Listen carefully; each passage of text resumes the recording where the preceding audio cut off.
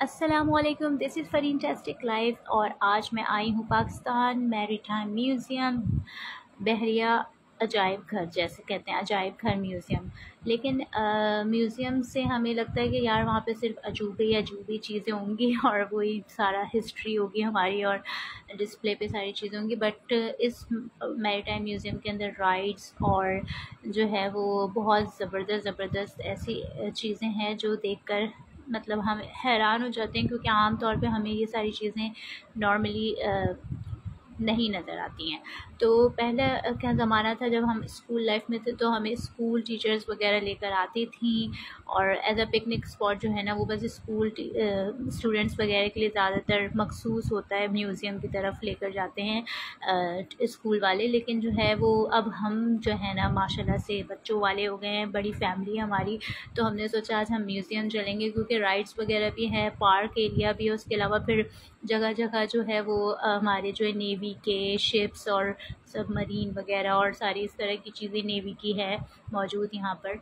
तो ये पाक बहरिया अजायब घर, उर्दू में कहेंगे और पाकिस्तान मेरी टाइम म्यूज़ियम इसका रियल नेम है। और ये P N S Karsaz road पर जो है लोकेटेड है इस्टेब्लिश इन 1997 और 1997 से यहाँ पर बहुत सारे इक्विपमेंट्स मशीनरी और नेवल जितनी भी नेवी की और जितनी भी समंदरी बहरिया के जो भी जहाज़ वगैरह होते हैं शिप्स वगैरह होती है, वो कुछ डिस्प्ले पे लगाई हुई हैं। तो बहुत ही एक, क्या कहेंगे एम्बियंस बहुत ही ज़बरदस्त है आपको माहौल चिल माहौल लगेगा। बहुत अच्छा वेदर कराची का एकदम मस्त हुआ हुआ अच्छा वेदर है कि आप घूमने फिरने इजीली निकल सकते हो। तो हम लोगों ने आज का प्लान किया था क्योंकि मैं जाने वाली हूँ वापस अपने ससुराल, लाहौर और बस कराची के दिन हमारे हुए ख़त्म। लेकिन हमने खूब इंजॉय किया कराची का कहते हैं ना, छप्पा छप्पा छान मारा और हमने घूमा फिर इन्जॉय किया है।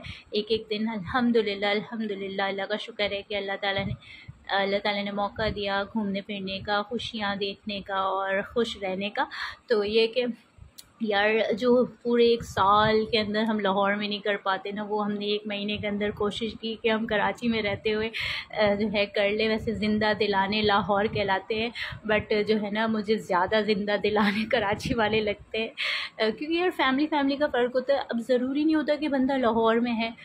तो सारे लाहौरी या सारी फैमिली और सारे वहाँ के रहने वाले अच्छे या सारे ही बुरे हो जाएँ। कोई एक स्टैंप लगा देता है ना तो स्टैंप लगाने वाली बात नहीं होती यार।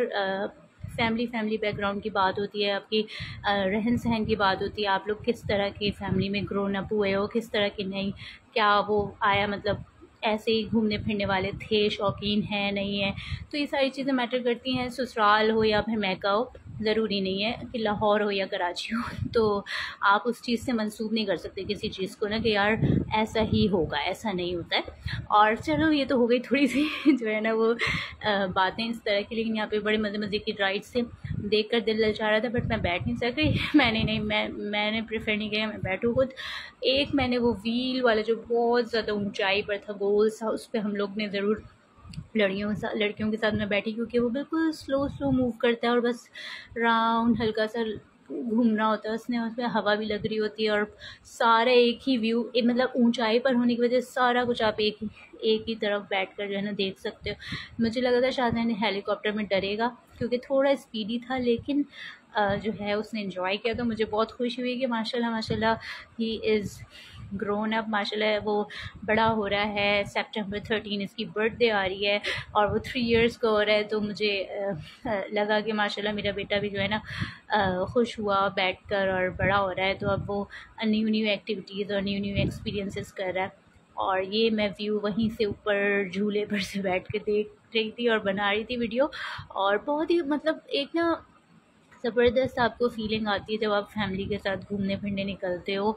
और वैसे भी आप अगर आउटिंग करते हो तो आपके लिए बहुत रिफ़्रेशिंग होता है क्योंकि एक रूटीन डेली रूटीन के हिसाब से आप लोग एक घर में घिसी घिसी पिटी सी लाइफ जो गुजार रहे होते हैं, चार दीवारी के अंदर या किचन और औरतें तो किचन और जो है ना कमरे के बीच में बस लटकी रह जाती हैं। तो अच्छा होता है कि आप ऐसे प्लान्स करें और धड़ाधड़ प्लान में जो है ना सबसे बड़ी बात है कि फैमिली आपकी जो है ना साथ देने वाली सपोर्टिव हो ना सारों का माइंड मैच होता है तो बहुत ज़्यादा मज़ा आता है।